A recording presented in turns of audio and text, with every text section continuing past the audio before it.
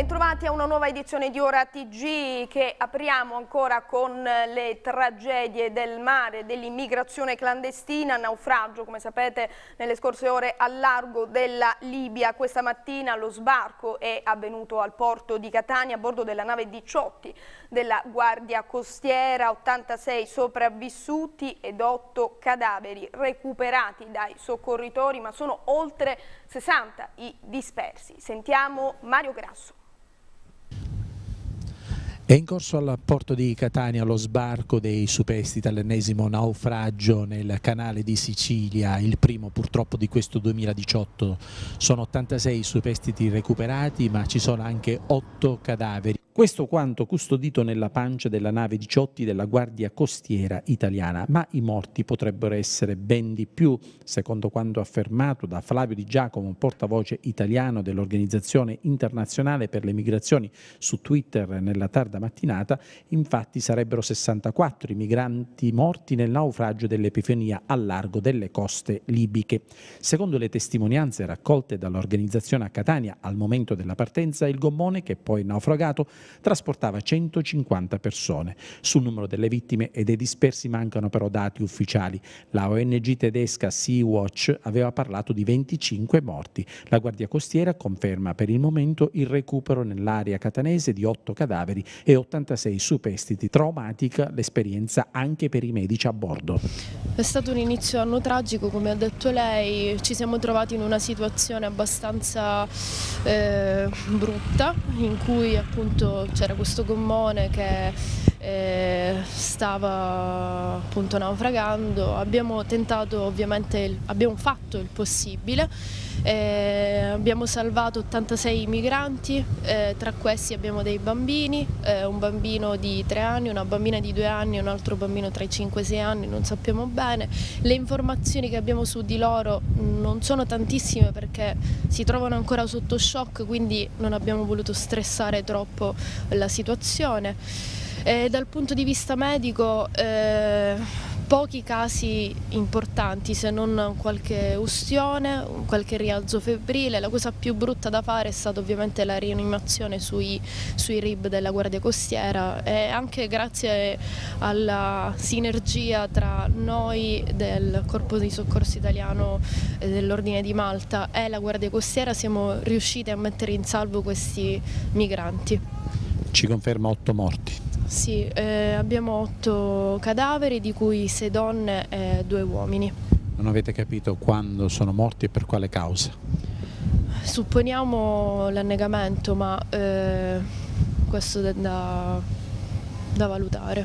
In ogni caso lo scenario era quello e quindi non, non possiamo appunto che eh, pensare ad un annegamento.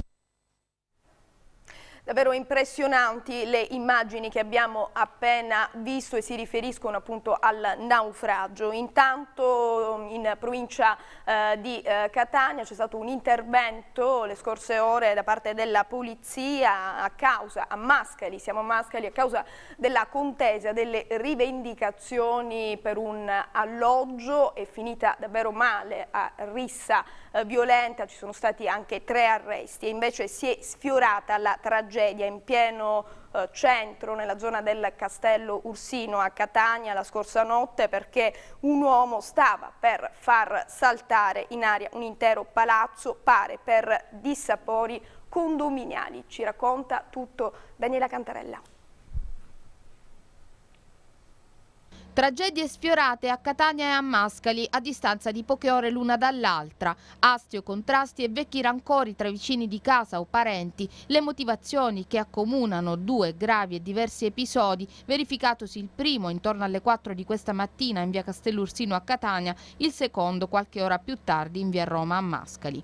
Era un folle progetto di vendetta, quello fortunatamente fallito, architettato dal 55enne Antonino Salvatore Lopresti, l'uomo residente in un palazzo in via Castellorsino che ha tentato di fare saltare in aria la propria abitazione per causare danni all'appartamento della vicina di casa che vive con la figlia di 10 anni e un cagnolino. Alla base del gesto estremo alcuni contrasti con il vicinato. L'uomo, che pare sia affetto da problemi psichici, ha cosparso il suo pavimento con oltre 10 litri di benzina, prendo poi le bombole del gas e disseminando nelle scale diversi petardi, la cui esplosione avrebbe dovuto fare da innesco alla deflagrazione. Il peggio è stato evitato grazie all'intervento immediato di polizia e vigili del fuoco. Giunti sul posto gli agenti hanno trovato l'uomo che pare abbia confessato chiuso nella sua auto. Quattro le pattuglie della polizia presenti insieme alla scientifica che ha svolto i rilievi del caso. E c'erano dei litigi alla base anche del secondo episodio verificatosi in via Roma a Mascali, dove cinque persone, tre donne e due uomini, se le sono date di santa ragione per impossessarsi di un appartamento in cui abitava fino a qualche giorno fa un 73enne deceduto che però non pare abbia lasciato alcun testamento. La violenta rissa è stata notata da alcuni passanti che hanno subito avvertito i carabinieri intervenuti intervenuti in tempo per evitare il peggio. La casa popolare in questione era occupata da una romena già convivente dell'anziano, alla quale si sono rivolti con violenza per affermare i propri diritti i parenti del defunto. Da qui la furibonda lite. Ricostruita la vicenda, i carabinieri hanno proceduto all'arresto di tre donne di 46, 45 e 59 anni, tra loro anche la romena. Deferite altre due persone, un diciottenne e un quarantunenne, per rissa aggravata in concorso. Le tre donne, espletate le formalità del rito, marito sono state poi rimesse in libertà, inconsapevoli forse che alla base della loro lite c'era il nulla. A quanto sembra, infatti, secondo le parole rilasciate dal sindaco di Mascali Luigi Messina, in assenza di atti la casa sarebbe di proprietà del comune e quindi non spetterebbe a nessuno di loro. Sindaco, tra i due litiganti il terzo gode oggi cade proprio a pennello. Eh, vengo a sapere in questo istante che c'è stata una lite familiare eh, che dovremo andare a verificare tutti quelli che sono eh, i motivi tra di loro.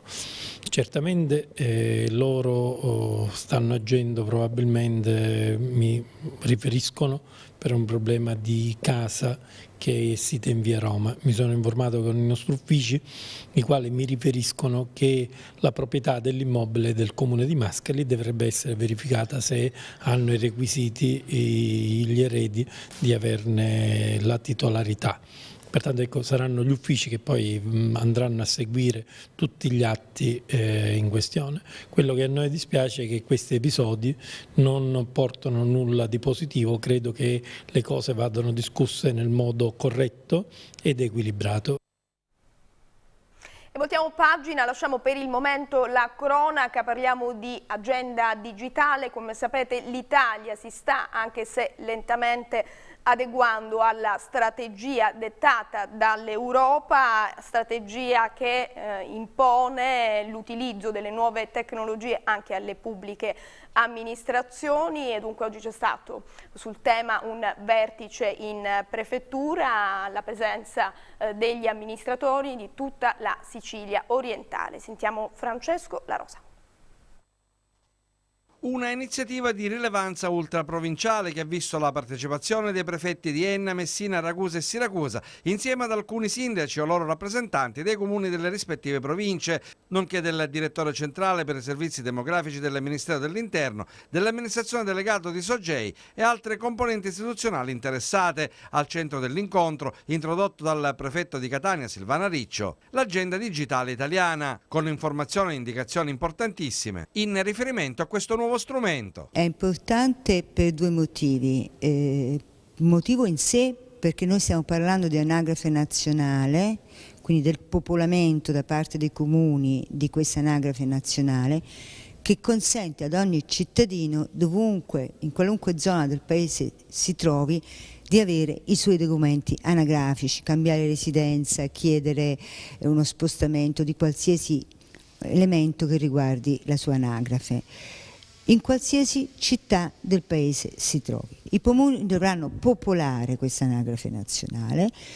ovviamente attraverso un supporto informatico e qui il Ministero, l'altra novità è questa, che il Ministero mette a disposizione oltre che un supporto tecnico specialistico, attraverso delle risorse del Dipartimento della Funzione Pubblica, anche degli incentivi diciamo, ai comuni, non sono tanti, ma sono delle risorse economiche che servono a ristorarli in parte delle spese che loro devono affrontare per il popolamento di questa anagrafe. L'altro argomento è la carta d'identità elettronica, che è uno strumento che bisogna assolutamente, oltre a far parte dell'obiettivo dell'agenda digitale del nostro Paese, ma è uno strumento che bisogna assolutamente incrementare perché dà, come voi sapete meglio di me, delle, uno, in primo luogo, dà un elemento di sicurezza maggiore nel senso che è, è, molto complicato falsificarla, è molto complicato rubarla, insomma utilizzarla. Due, può diventare, e stanno studiando in questo senso, questo che ci hanno spiegato oggi i tecnici stamani della SOGEI, del poligrafico, dell'agenda digitale, può diventare lo strumento attraverso il quale con quella carta eh, paghiamo il biglietto dell'autobus, eh, attiviamo dei servizi del comune, eh, entriamo so, nel badge di alcune, serve anche come badge nelle pubbliche amministrazioni, cioè racchiudere una serie di funzioni per cui uno invece di portarsi tante piccole carte tipo carte di credito porta dietro un documento di riconoscimento pienamente valido in tutto il paese e anche per l'estero che sostanzialmente ha anche altre funzioni aggiuntive. Quindi come vede è un'operazione di innovazione, di semplificazione amministrativa. A fianco nostro c'è stato eh, il sindaco di Catania, anche nella sua veste di, oltre che di sindaco, di presidente nazionale dell'Anci, perché questa è un'operazione ovviamente fatta in collaborazione con l'Anci. Ed intanto i poliziotti del Volanti hanno rinvenuto e sequestrato a carico di ignoti un fucile marca Berretta calibro 12 ed un fucile marca Franchi, anch'esso calibro 12. I poliziotti hanno, hanno, sequestrato le armi nel corso di alcuni controlli in un'abitazione abbandonata e semidistrutta nel quartiere San Cristoforo. I fucili automatici li vedete in foto, erano a canne mozze, le armi erano occultate all'interno di una vasca in cemento utilizzata per la raccolta dell'acqua. Sul posto è intervenuto anche il personale della Polizia Scientifica che ha repertato le armi già sequestrate dagli agenti.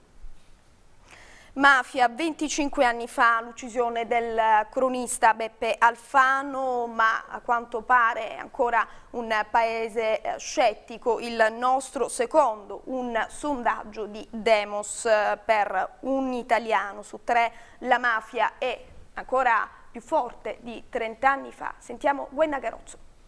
25 anni fa l'omicidio del giornalista messinese Beppe Alfano. Nel giorno dell'anniversario della sua morte la notizia che un italiano su tre crede che la mafia sia ancora più forte di 30 anni fa. È un paese che possiede una fetta di popolazione scettica sull'indebolimento di affari loschi e cosche affiliate ai clan della malavita organizzata, l'Italia. Se è vero infatti che ogni anno le commemorazioni dei grandi uomini dell'antimafia, tra questi certamente c'è Alfano con il suo giornalismo d'inchiesta, registrano un numero sempre più elevato di adesioni soprattutto da parte dei giovani, estremamente sensibili in tal senso. Dall'altra parte, secondo Demos, che ha effettuato un sondaggio, un cittadino su tre ritiene la potenza mafiosa inalterata da 30 anni a questa parte. Una percezione sociale che dimostra come la gente crede sia cambiato poco o nulla, tanto più che secondo un ulteriore 46% la sua influenza è rimasta pressoché invariata. Meno di due italiani su dieci considerano la presenza mafiosa diminuita e se si guarda alla politica gli elettori della Lega sono quelli che avvertono il fenomeno mafioso ancora più pregnante nel tessuto sociale. Di parere opposto invece i sostenitori di Forza Italia, una mafia che persiste, che si è trasformata e che ha varcato i confini del territorio, radicandosi al nord. A percepire questo fenomeno proprio gli abitanti del nord-ovest fino alla pianura padana, una percezione forte anche al nord-est che si abbassa via via spostandosi verso sud. Che il fenomeno si sia spostato dal meridione verso Alpi ed Appennini è un concetto tuttavia che fa fatica ad albergare in chi ha basi e radici politiche più forti in queste aree. E ancora a Catania cambio al vertice come era stato già annunciato nei giorni scorsi della questura, si è insediato proprio questa mattina il neoquestore Alberto Francini che come prima cosa ha reso omaggio ai eh, tanti poliziotti del territorio caduti, fra cui anche l'ispettore di polizia Filippo Raciti, ucciso durante gli scontri al Massimino. Una questura moderna e dinamica che affianchi alle attività tradizionali di contrasto del crimine organizzato e non la giusta attenzione verso i nuovi fenomeni delinquenziali sempre più presenti nelle grandi aree urbane e persino nelle periferie rurali. Il nuovo questore di Catania, Alberto Francini, disegna così la questura etnea nel giorno del suo insediamento, incontrando i giornalisti non solo per i saluti di rito, ma anche per tracciare la visione globale del sistema sicurezza e tutela della comunità. Francini, napoletano, ha grande esperienza, proviene dalla questura di Pisa, ma per una ventina d'anni si è occupato direttamente della sicurezza degli eventi sportivi a Napoli e provincia. Funzionario di polizia dal febbraio 1983 è laureato in giurisprudenza con specializzazione in diritto amministrativo e scienza dell'amministrazione, relatore in seminari internazionali sull'ordine pubblico negli stadi. E oggi, nel giorno dell'insediamento, quale primo atto ufficiale, il nuovo questore ha voluto deporre da Cireale dei fiori innanzi alla tomba di Filippo Raciti, perché ha detto Raciti rappresenta per il sistema italiano di organizzazione e sicurezza degli incontri di calcio uno spartiacque. C'era un prima di Filippo Raciti, che il questore considera un martire della mancata sicurezza negli stadi, c'è un dopo, quanto accaduto quella triste sera al Massimino. Ma è un martire nel senso che dopo di lui la normativa sugli stadi e l'ordine pubblico negli stadi è profondamente cambiato rispetto al passato, quindi la morte di Raciti ha rappresentato proprio una, una, una discontinuità rispetto al passato e mh, speriamo che questo tipo di atteggiamento della, del, dei tifosi e delle situazioni negli stadi prosegue anche in futuro. Diversi gli argomenti trattati in conferenza stampa, dal contrasto alla criminalità ad un innalzamento della percezione di sicurezza, al piccolo spaccio, normativa quest'ultima che si rifà ad una legge del 1975 ormai superata dal tempo. Poi la vicenda immigrazione. È un fenomeno, innanzitutto è un fenomeno tragico e poi è un fenomeno che impegna il nostro paese già da tempo e credo che lo impegnerà ancora per lunghissimo tempo, ma non solo il nostro paese. Io ho l'impressione che noi siamo qua alla vigilia di cambiamenti epocali da questo punto di vista per tutto il mondo occidentale. Io posso dire dal mio piccolo di questore, sebbene questore di Catania che è una questura importantissima, ma pur sempre un piccolo questore, che eh, le donne e gli uomini della Polizia di Stato, così delle, delle, altre forze in campo, mettono veramente tutta la loro professionalità, il loro cuore e il loro impegno per cercare di contenere almeno gli aspetti più difficili e più tragici di questo fenomeno. Su questo non ci sono dubbi, lo abbiamo dimostrato in questi ultimi 3-4 anni e credo che lo faremo anche in futuro. Ed intanto cresce il fenomeno della pedofilia online così come le trappole degli hacker e più in generale i reati informatici, lo rivela la polizia postale che intanto traccia un bilancio dell'ultimo anno di attività di indagini e eh, contrasto.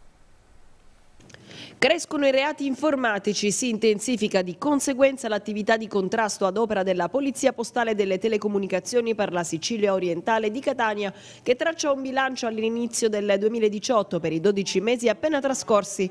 Deep Web, Darknet, Cyberstalking, Financial, Cybercrime, Cyberterrorismo sono termini ormai consueti nel linguaggio quotidiano e sono fenomeni che gli agenti hanno riscontrato in aumento. Pedopornografia si è agito sotto copertura su su tutte le piattaforme web, 50 casi trattati, 6 persone arrestate, 46 denunciate, tra queste 15 per adescamento. Di particolare rilievo grazie anche alle segnalazioni di genitori l'operazione 12 Apostoli che ha scovato un'associazione a delinquere ad Acibonaccorsi nella comunità religiosa di Lavina finalizzata alla violenza sessuale aggravata a danno di minori. Tecniche di hackeraggio sempre più raffinate hanno attaccato ancora più soggetti, quasi 2000 i casi, tra questi si evidenzia l'operazione CryptoLocker, l'associazione a delinquere aveva base operativa nel napoletano estorcendo denaro in tutta Italia a imprenditori e professionisti i cui dati venivano criptati e bloccati.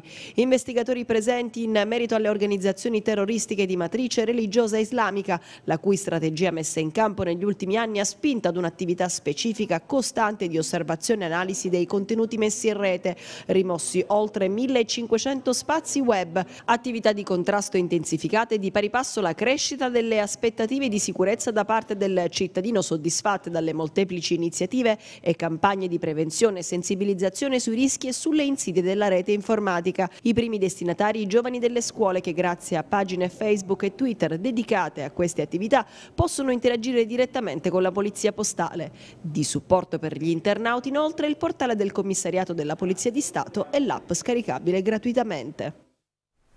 Parliamo adesso di infrastrutture. L'assessore regionale Marco Falcone ha visitato i cantieri autostradali della Siracusa Ragusa-Gela, ormai fermi da mesi. Le ditte subappaltanti aspettano i pagamenti da almeno 18 mesi e chiedono all'amministrazione regionale un intervento immediato per trovare una soluzione. Per Falcone la soluzione a portata di mano e dentro il 2019 il tratto Rosolini-Ispica dovrà essere completato. Al momento a Modica si sta sta tenendo una riunione fra i rappresentanti delle imprese, un rappresentante del CAS, Consorzio Autostrade Siciliane e l'assessore regionale Falcone.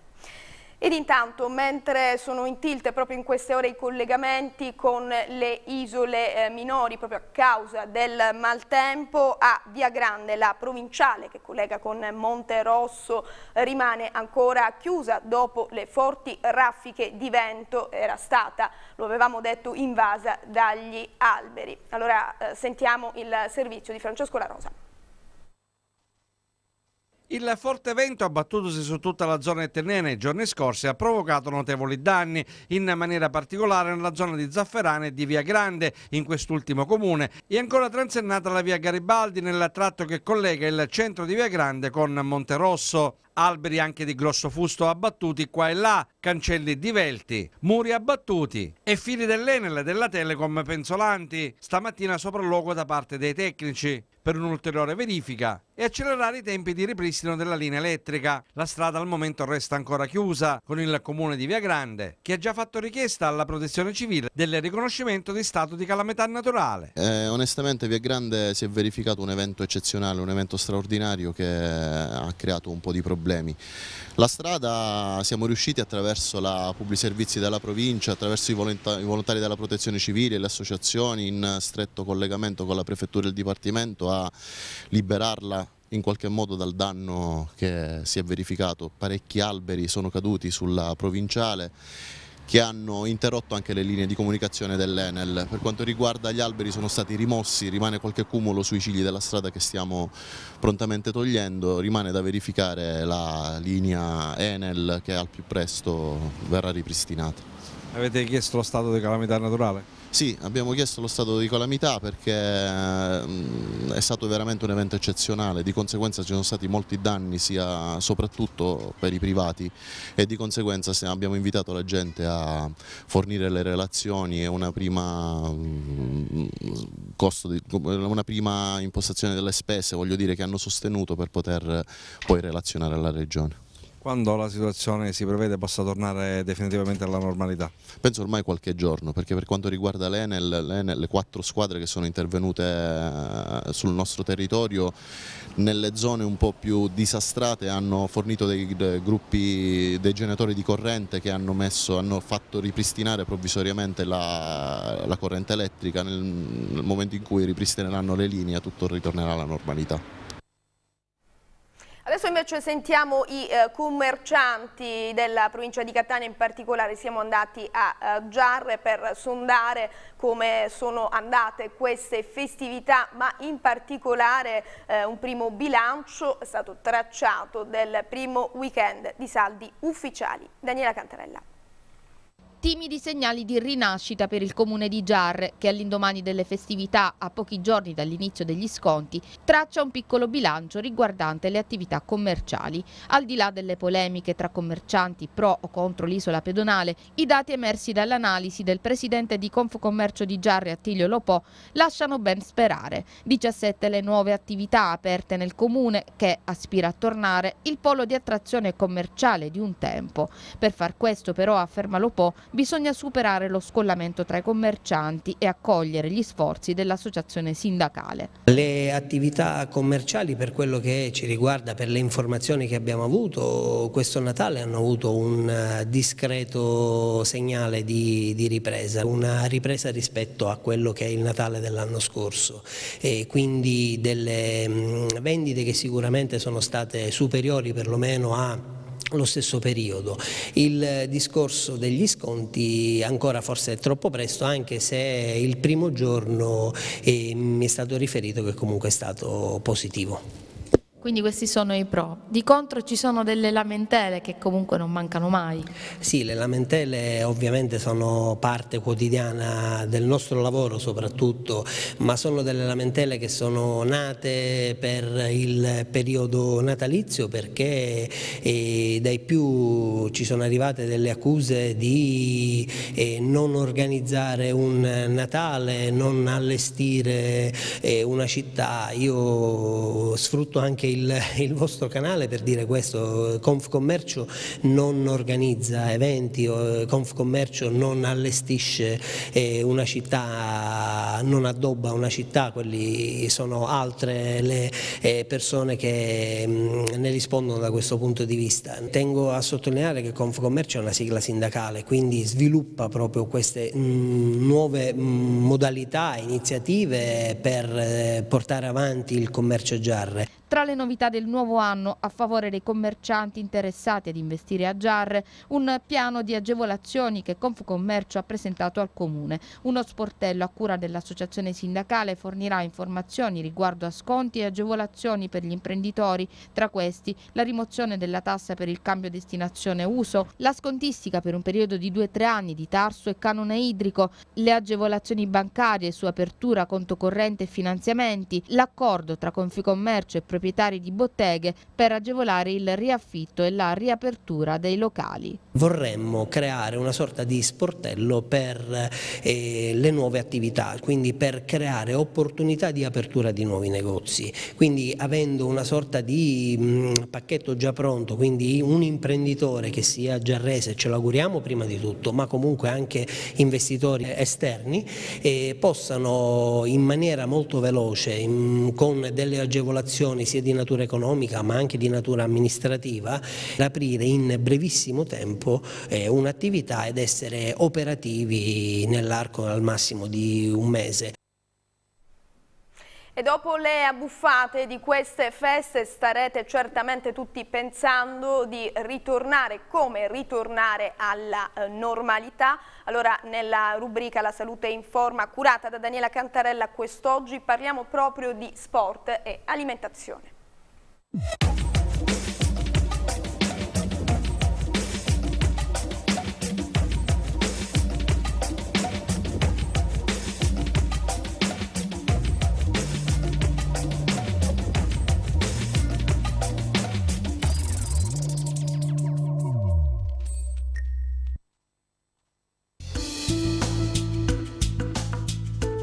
Sport e corretta alimentazione Due alleati perfetti per mantenere in salute corpo e mente. Uno stile alimentare corretto ed equilibrato rappresenta il sistema più adatto per soddisfare i particolari bisogni energetici e nutrizionali degli sportivi, sia amatoriali che professionisti, ma è tuttavia raccomandabile anche ai soggetti non abituati a praticare attività fisica. Oggi più che mai sport e buone abitudini a tavola prevengono l'insorgenza dell'obesità, con particolare riferimento all'obesità infantile, favorita dalla riduzione del movimento e da sempre maggiore interesse nei confronti di televisione, videogiochi e computer. Un ruolo fondamentale nell'attività sportiva è rappresentato dalla dieta seguita giornalmente. Pur non esistendo alimenti miracolosi in grado da soli di migliorare le prestazioni fisiche, si può affermare che la giusta alimentazione associata ad un allenamento adeguato consente il massimo rendimento agonistico. Se l'obiettivo è poi quello di perdere qualche chilo e rimettersi in linea, ecco che il regime alimentare idoneo, accoppiato ad una specifica attività sportiva, diventa indispensabile. Messaggi non corretti o fuorvianti impediscono spesso un'adeguata consapevolezza sull'importanza dell'alimentazione nello sport. Per tali ragioni, oggi più che mai è necessario elevare il livello di conoscenza della popolazione in generale e di chi pratica sport, in particolare sugli stili di vita adeguati per il mantenimento della salute. Diete fai da te, mischiate a falsi miti e scorretto uso di integratori e prodotti dietetici, mettono a serio rischio la salute di adulti e ragazzi, spesso abituati inconsapevolmente ad assumere comportamenti alimentari, cause a lungo termine anche di gravi problematiche. L'alimentazione dello sportivo a tutti i livelli è un elemento incisivo, può migliorare le prestazioni in palestra o vanificare del tutto gli sforzi fatti. Importanti i tempi. Per un allenamento nelle ore mattutine il consiglio è di scegliere un pasto che non impieghi troppo tempo per essere assimilato e di facile digestione. Se l'attività sportiva è prevista nella pausa pranzo, è importante ricordare di sedersi a tavola solo dopo l'allenamento, ma non troppo tardi, a distanza di massimo un'ora. Se infine si va in palestra la sera, si potrà scegliere tra uno spuntino prima dell'attività sportiva o una cena leggera a seguire. Da evitare in questo caso pasta, riso o pizza nelle ore troppo tarde. Importante inoltre porsi un obiettivo, tenere un diario nutrizionale per annotare cosa si ingerisce e quante calorie, limitare il consumo di burro e dolci, evitare alcol e fumo, non saltare mai la colazione, introdurre le giuste proteine per costruire i muscoli, evitare i cibi spazzatura e consumare molta verdura e frutta. Se non ci si allena, fare almeno una passeggiata prima di andare a letto. È importante inoltre mangiare lentamente e bere molta acqua. Questi solo alcuni dei consigli di esperti e professionisti del settore. A svelarci tutti i segreti e le nuove scoperte in ambito di strategie alimentari nella pratica sportiva sarà oggi il dottor Marco Trovato, nutrizionista ed educatore alimentare della Federazione Italiana Tennis.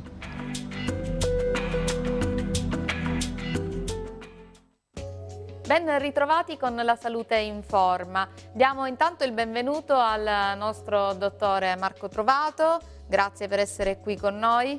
Grazie dottore. a voi per l'invito graditissimo.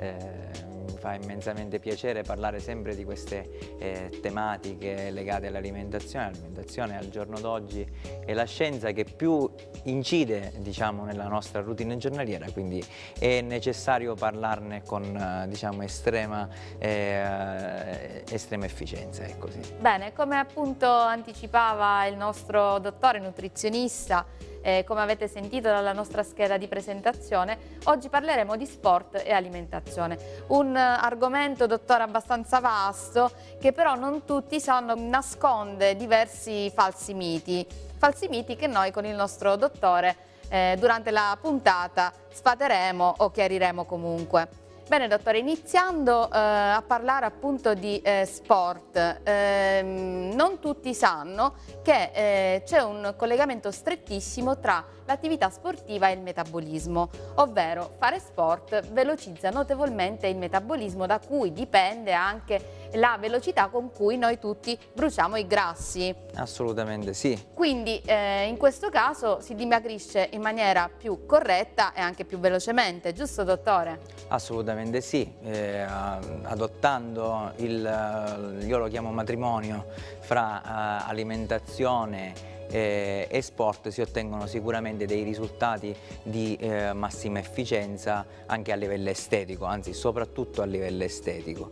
Eh, mi parlavi di aumento del metabolismo, bene sì, eh, l'aumento eh, della, della massa magra, soprattutto eh, nella donna, favorisce il eh, dimagrimento a favore della massa grassa, quindi è una massa magra questo tessuto muscolare che sviluppandosi eh, tende a far consumare di più ecco, eh, la nostra eh, automobile che è il nostro corpo umano eh, e quindi eh, con, adoperando come carburante a riposo i grassi. Bene, eh, cerchiamo di entrare nel vivo del nostro argomento, dottore, e parliamo di un altro falso mito, diciamo c'è un po' di confusione sull'assunzione eh, dei carboidrati. Fanno parte della dieta dello sportivo sicuramente, dottore, come bisogna assumerli in base all'attività sportiva che si pratica? Bene, eh, il carboidrato partiamo dal concetto che è la benzina ufficiale del, dell'atleta e anche del non atleta, ma se parliamo nello specifico di attività sportiva non possiamo che, non parla, non possiamo che parlare positivamente dei carboidrati, proprio perché ci danno l'energia necessaria a, eh, ad affrontare l'attività la, eh, fisica, ma non solo. Eh, pensiamo bene che riallacciandoci diciamo, alla domanda precedente sul metabolismo e sulla crescita muscolare che senza carboidrati non riusciremmo a, a dare energia agli, a, a, agli eventi cellulari per poter far crescere eh, il muscolo, quindi il carboidrato rimane eh, in primis la, eh, il carburante principale eh, del nostro organismo. Dottore, un altro aspetto importante nella vita di uno sportivo sono i tempi in cui si consumano i passi prima e dopo gli allenamenti. Eh, non tutti fanno attenzione a questo particolare importantissimo perché eh, ci sono degli accorgimenti che se seguiti possono valorizzare eh, i risultati e le prestazioni, se invece eh, non sono seguiti possono anche vanificare tutti gli sforzi fatti. Eh, assolutamente sì, le tempistiche sono fondamentali eh, nello sport in quanto eh, è bene mangiare prima dell'attività sportiva quindi a seconda dell'attività sportiva che facciamo può variare dalle 3 all'ora e mezza precedente all'evento di allenamento, all'evento sportivo, alla gara. E, ehm, è bene mangiare anche dopo l'attività sportiva perché è importante ricaricare eh, le energie perse eh, durante l'allenamento. Nel nuoto, ad esempio, è importante andare a mangiare dei piccoli snack creati ovviamente eh, homemade, ovvero sia in, in casa, eh, a eh, distanza di eh, un'ora circa dalla fine dell'allenamento e a intervalli regolari per le ore successive, cioè ogni ora successiva all'allenamento bisognerà eh, alimentarsi con uno snack a base di carboidrati che permetta la, eh, il ripristino ovviamente delle energie perse, perse investite eh, durante eh, l'allenamento o la gara.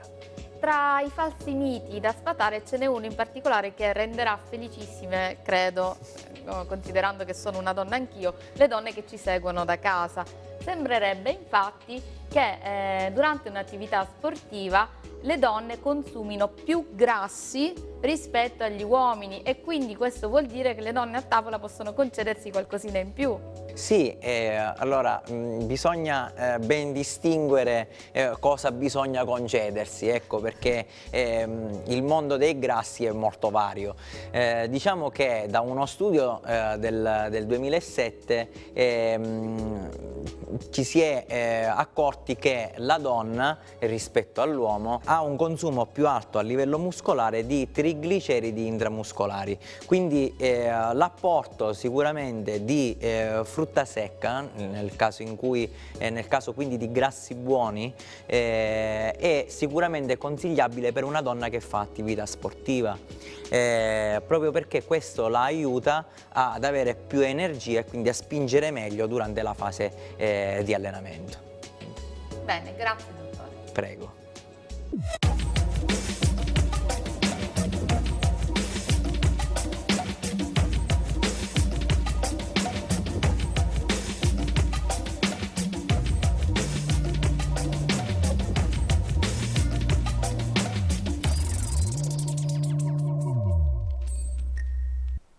Grazie di averci seguiti, ora TG si ferma qui, vi ricordo che però è disponibile anche sul sito internet reitv.it e attraverso il canale YouTube. Adesso come sempre le previsioni del tempo. Grazie, arrivederci.